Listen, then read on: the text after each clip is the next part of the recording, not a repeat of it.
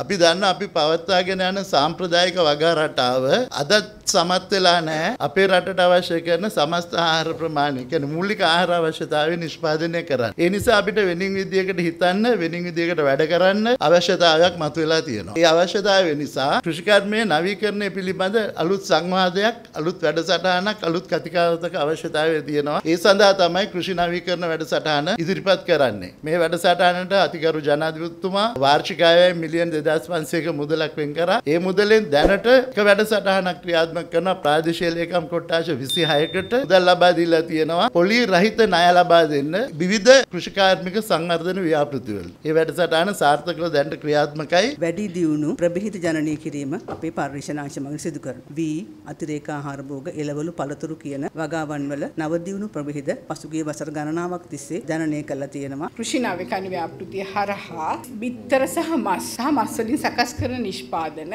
පිටරට යවන්න අවශ්‍ය කටයුතු සිදු කරමින් පවතිනවා. රසායනික පොහොර ගොවින්ට අවශ්‍ය කරන ප්‍රමාණයට ලබා දීමේ කටයුතු සිද්ධ වෙනවා. ගෝජන සංවර්ධන දෙපාර්තමේන්තුව යටතේ ක්‍රියාත්මක වෙන ගෝජන සේවා අලෙවිසල් හරහා ප්‍රධාන වශයෙන් ලබා ගන්න පුළුවන් ගොවින්ට අවශ්‍ය කරන පොහොර අමාත්‍යංශයේ ප්‍රධාන කාර්යභාරය වුණේ අපේ ආහාර සුරක්ෂිතතාවය ඇති කිරීම. දැනට අපි වැඩි අවධානයක් යොමු කරනවා අපනයන ප්‍රවර්ධනය සඳහා. අපි දැනට වැඩසටහනක් කරගෙන යනවා. මේ අපේ තියෙන දත්ත පද්ධතිය ඒකාබද්ධ කරලා ඒ එක දත්ත පද්ධතියක් බවට පත් කරන්න. කීරි සම්භායක දැන් වෙනකොට 350 360 දක්වා වර්ධනය වෙලා තිනවා. මේක ඔබතුමාලට පාලනය කරන්න බැරිද නැත්නම් ඒ අදාළ ව්‍යාපාරිකයෝ විසින් පාලනය කරන තත්ත්වයක් නිසාද මේ තත්ත්වය ඇති වෙලා තියෙන්නේ? කතාවක් හෝ දෙවතාවක් මිලියලයාමක් නිරීක්ෂණය වූ පමණින් ඒ ගැන අපිට දැඩි තීරණ ගන්න හැකියාවක් නැහැ. නමුත් කාලයක් තිස්සේ මේ තත්ත්වය පවතිනවා නම් ඒ සම්බන්ධයෙන් අදාළ ආයතන ඉදිරි නිදි- නිසි ක්‍රියාමාර්ග ගනී. ඉදිරියේදී අපි සියලුම සාල් වර්ග ආරක්ෂිත තොග පියල්වි මණ්ඩලයේ තබාගෙන වෙළඳපළට නිකුත් කරන්න බලාපොරොත්තු වෙනවා.